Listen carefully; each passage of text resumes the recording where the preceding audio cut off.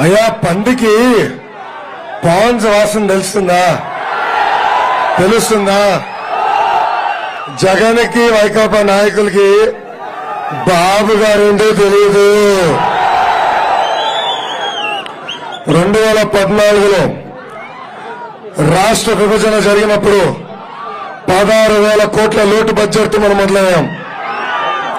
పదహారు వేల కోట్ల లోటు బడ్జెట్ ఉన్నా మన యువతి యువకులకి ఆరు లక్షల ఉద్యోగాలు కల్పించింది మన నాయకుడు చంద్రబాబు నాయుడు గారు. మా అమ్మ తాతలకి చాలి చాలని రెండు వందల రూపాయల పెన్షన్ రెండు వేల రూపాయలు చేసింది మన చంద్రబాబు నాయుడు గారు.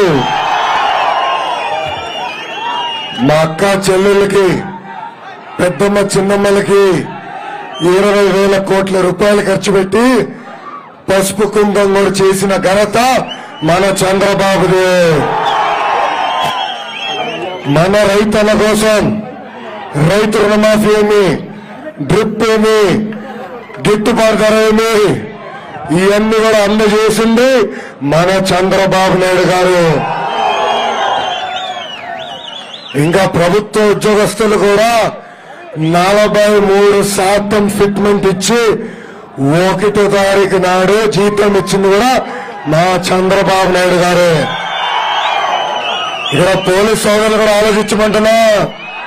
మీరు కూడా ఒక బాధ్యత లేదు ప్రభుత్వంలో. మీ టీఏడిఏ ఇవ్వట్లేదు.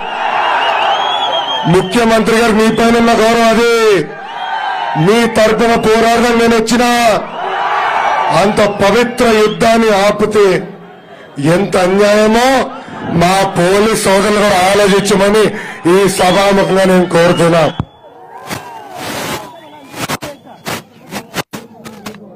వ్యక్తి జగన్మోహన్ రెడ్డి. చంద్రబాబు నాయుడు గారు ముఖ్యమంత్రిగా ఉన్నప్పుడు అభివృద్ధి వికేంద్రీకరణ చేసి చూపించారు. మన రాయలసీమకి Kia TCL Hero Apollo tyres Zoho Foxconn Celkon Dixon లాంటి అనేక పరిశ్రమలు తీసుకొచ్చారు. కానీ ఆనాడు జగన్ రెడ్డి పాదయాత్ర చేస్తూ అవా తాత పెద్దమ్మ చిన్నమ్మ ఒక్క ఛాన్స్ అమ్మా ఒక్క అవకాశం ఇయ్యమ్మా ప్లీజ్. ఇట్లా అడిగి ముఖ్యమంత్రి అయ్యారు. ఆయన ముఖ్యమంత్రి అయిన తర్వాత నోరు తెరిస్తేనే అబద్ధాలు.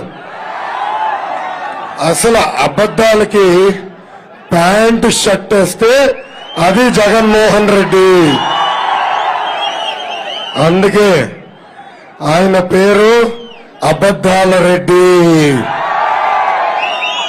యువకులకి రెండు లక్షల ముప్పై వేల ఉద్యోగాలు భర్తీ చేస్తా అన్నారు అది ఒక అబద్ధం. ప్రతి సంవత్సరం జాబ్ క్యాలెండర్ ఇస్తా అన్నారు. అది ఒక అబద్ధం. ఇంకా ప్రత్యేక హోదా. ఇరవై ఐదు ఎంపీలు గెలిస్తే ఢిల్లీని గడగడగడలాడిస్తా ఉన్నారు ముప్పై ఒక ఎంపీలు ఉన్నారు. ఏం పీకారయ్యా మీరు? మోడీ గారు చూస్తే ఇంక వచ్చబడుతుంది sir sir sir sir sir sir అంటారు. ఆయన వస్తే ఆయన డైలీ కాలు ఇక్కడ ఉన్నాయా అని ఎత్తుక్కుంటాడు.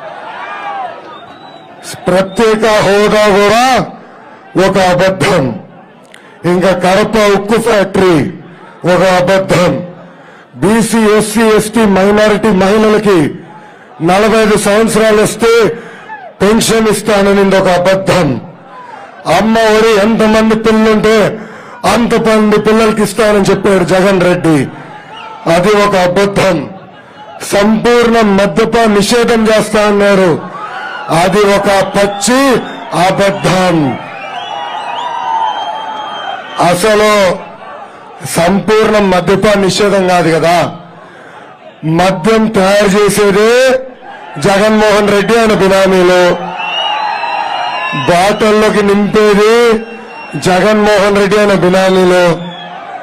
Andhra gold president medal sticker అంటించేదే Jaganmohan Reddy బినామీలో. బండల్లో తరలించేది జగన్మోహన్ రెడ్డి అనే బినామీలో. ఏకంగా దుకాణాలు నడిపించేది జగన్మోహన్ రెడ్డి అనే బినామీలు. అంతేకాదండి ఆరింటికి దుకాణాలు మూసేయాలి కదా. ఆ మద్యం సీసాలు ఇంటికి తీసుకెళ్ళి జాగ్రత్తగా కాపులా కాసి బ్లాక్లో కూడా అమ్మేది జగన్మోహన్ రెడ్డి బినామీలు. చాలా మంది వచ్చి నన్ను కలిసినారు. కలిసి అయ్యా ఈ మద్యం బాటిల్ ఏదో తేడా ఉంది. ఇది కల్తీ మద్యం కన్నా దారుణం అన్నారు. అవునా? ల్యాబ్కి పంపించానండి. ఆ ల్యాబ్కి పంపిస్తే అక్కడ తేలింది. పురుగు మందు పురుగులు చంపుతుందో లేదో తెలియదు కానీ ఈ మద్యం కానీ కొడితే పంట పొలాల పురుగులు వస్తాయి అలాంటి కల్తీ మద్యం అందజేస్తున్నారు ఈ జగన్ రెడ్డి.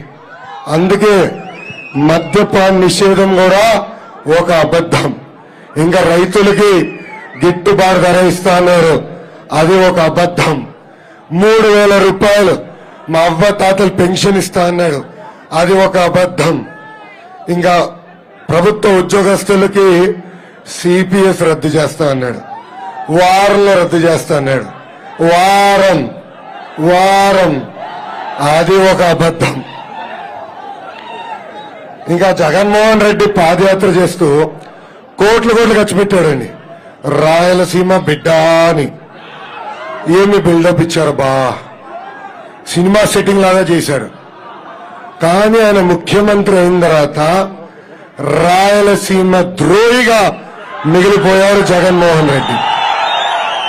ఈ అబద్ధాల రెడ్డి ఈ అబద్ధాల రెడ్డి జగన్మోహన్ రెడ్డికి వచ్చే మన రాయలసీమకు వచ్చే సాగునీటి ప్రాజెక్టులు చంపేశాడు. అంతేకాదు రాయలసీమకిలో ఉన్న అమర్ రాజా బ్యాటరీ కంపెనీ మెడబట్టుకుని తెలంగాణకు పంపించేశాడు. ఆ ఒక్క పరిశ్రమ పోవటం వల్ల ప్రత్యక్షంగా పదివేల మంది ఉద్యోగాలు కోల్పోయారు. పరోక్షంగా ఇంకొక పదివేల మంది ఉద్యోగాలు కోల్పోతాం జరిగింది. ఆయన రాయలసీమ బిడ్డ కాదు. రాయలసీమకి పట్టిన శని అని సభాముఖంగా తెలుపుతున్నాం. నేను అడుగుతున్నా జగన్ రెడ్డిని నువ్వు నిజంగానే రాయలసీమ బిడ్డ అవుతే నువ్వు రాయలసీమకి ఏం చేసావు ఈ సభాముఖంగా తెలపాలని కూడా ఆయన నేను ఇక్కడి నుంచి నిలదీస్తున్నా అయ్యా ఎన్నికల ముందల జగన్మోహన్ రెడ్డి అన్ని పెంచుతూ పోతా అన్నాడు. అందరూ అనుకున్నాం చంద్రన్న భీమ పెంచుతాడేమో పసుపు కుంకుమ పెంచుతాడేమో పండగలకి ఇచ్చే కానుకలు పెంచుతాడేమో రైతు రుణమాఫీ పెంచుతాడేమో అనుకున్నాం. కానీ పెంచాడు తల్లి పెట్రోల్ ధర. పెంచాడు తల్లి డీజిల్ ధర.